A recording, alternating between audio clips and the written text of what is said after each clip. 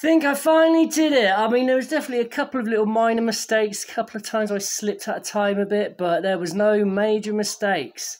Yes, I can like show that to my family and be like, check this out. I'm a goddamn legend.